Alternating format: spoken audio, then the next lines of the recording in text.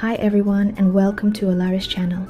In today's video, we're setting up a personal game streaming server by installing Steam, configuring the Sunshine server, and connecting it all to the Moonlight client to play your games anywhere.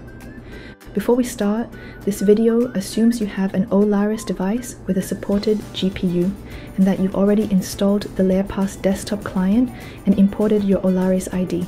If you need help with that, please check the links in the description below. Alright, let's dive in. First, open the Olares Market. You might find Steam on the main page. Click Get, then Install to begin the installation. Next, you'll be prompted to set your login credentials for Sunshine, which is a self-hosted game stream host. Once it's finished installing, the button will change to Open. Click it to launch the app. You'll see a prompt for a remote connection. Click Connect to access the Steam interface. The first time you open Steam, you'll need to install the client itself. Click the Install button and give it a moment to download and set up.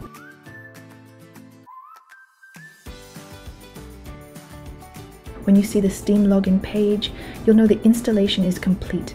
Go ahead and log in to your Steam account. Because Olares runs on a Linux environment, we need a feature called Proton.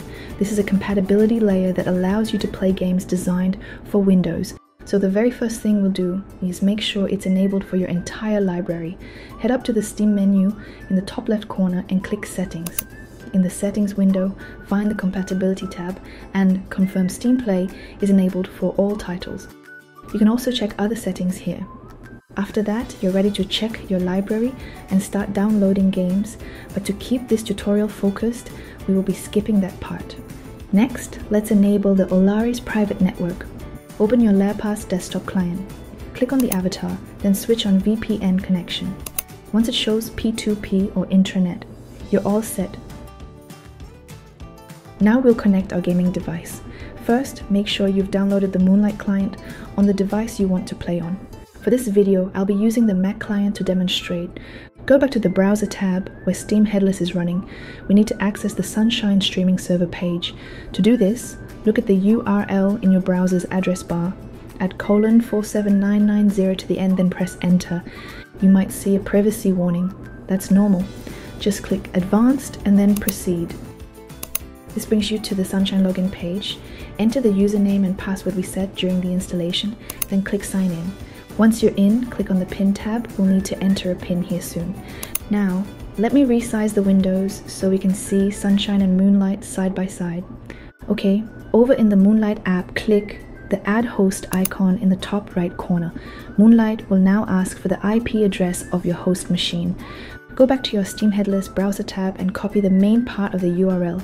Paste only that part into Moonlight, without HTTPS or any slashes.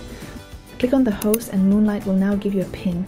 Switch back to your Sunshine browser tab and enter that pin into the box. You can also give your device a name to recognize it later. I'll call this one Alex Mac. Then click Send. Back in Moonlight, you'll see the lock icon on the host has disappeared. That means you're successfully paired click on the host again. Before you start streaming, click on the settings icon in the top right corner and change the display mode to borderless windowed for a better gaming experience. Select Steam and you'll be taken straight to your game library in big picture mode. From here, you can download your games and start playing.